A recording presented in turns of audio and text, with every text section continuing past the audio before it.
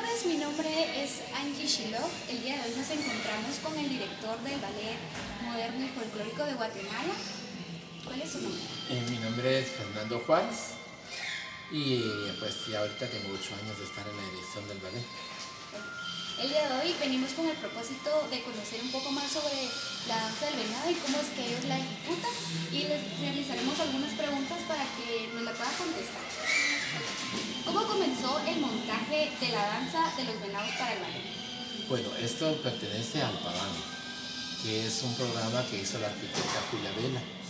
Es un estudio de una investigación de Soel Valdés eh, con música de Juárez Toledo y la coreografía de la arquitecta Julia Vela.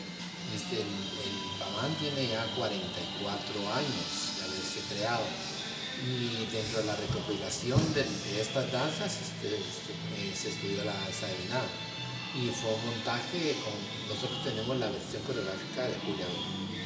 Ok, interesante. ¿Qué aspectos originales permanece en el montaje actual? Bueno, el vestuario, la, en sí el, el movimiento, ¿verdad? El movimiento ha sido eh, con una composición coreográfica, por supuesto, donde ya van cuentas, direcciones y estructura plástica, que tal vez no está tan así en, en- en los pueblos, pero en sí la, la parte esencial del movimiento, el impulso y el ritmo, lo seguimos guardando con la característica propia de la danza.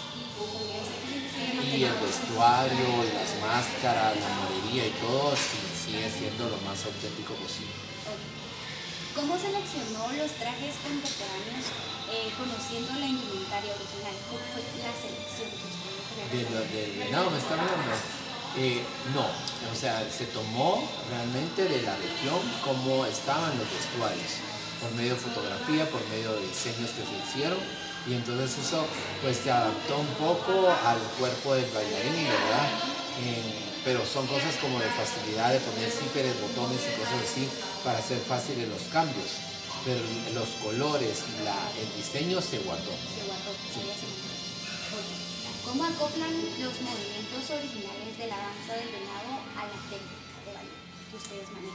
Bueno, eh, indiscutiblemente la técnica pues le da a uno muchos, muchas herramientas como el equilibrio, los giros, la potencialidad, el utilizar eh, muy bien lo que es el peso del contrapeso y todas estas cosas que ayudan en sí a hacer la composición coreográfica, que se armó esta estructura plástica, ¿verdad?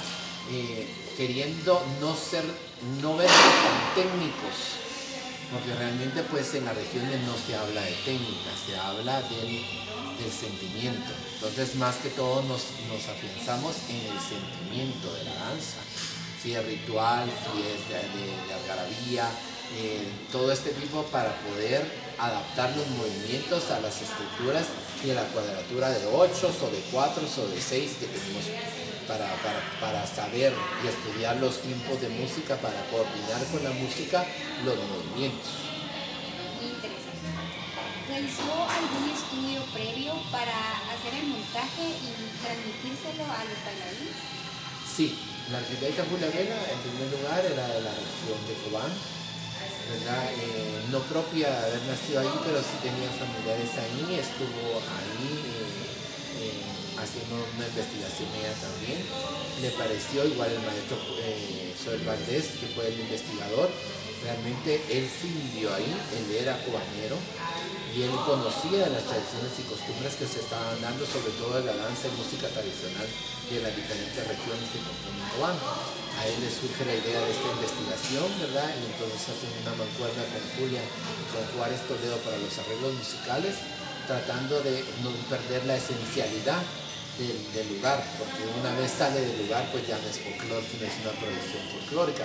Pero tratamos de guardar la esencialidad en el movimiento, en el sentimiento, sobre todo la mística que nosotros llamamos, ¿verdad?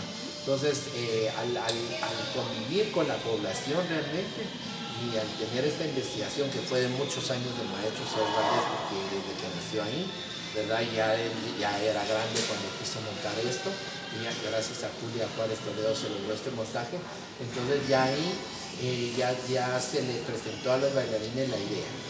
¿verdad? En un principio pues no sabían realmente todos qué es lo que estaba pasando ni qué estaban haciendo, ¿verdad? pero eh, poco a poco fueron explicando y también pues se hizo ciertas excursiones, por decirlo así, ¿verdad? Eh, visitas de, de, campo y, e ir al lugar para que ellos se dieran cuenta de la mística que tenían ellos al interpretar. Sí, para sacar lo más auténtico posible y no perder eso. ¿Verdad? Que no nos ganara la técnica. En la técnica de destreza, de posición y de, de figuras, sino que más el sentimiento nos llevara, ¿verdad? Para que no se viera tan, tan fuera lo natural. Bueno, sin duda es interesante saber que, cuál es el proceso que se lleva atrás de escena, cuáles eh, son los procedimientos, que no solo los bailarines, sino el coreógrafo y todas las investigaciones que hay detrás. Le agradecemos bastante por su tiempo, para, para nosotros es valioso todos estos datos que usted nos brindó el día de hoy, así que se lo agradecemos bastante. Muchas gracias. Muchas gracias, estamos a la orden siempre, el alemán folclórico abierta las puertas para lo que desee. Gracias.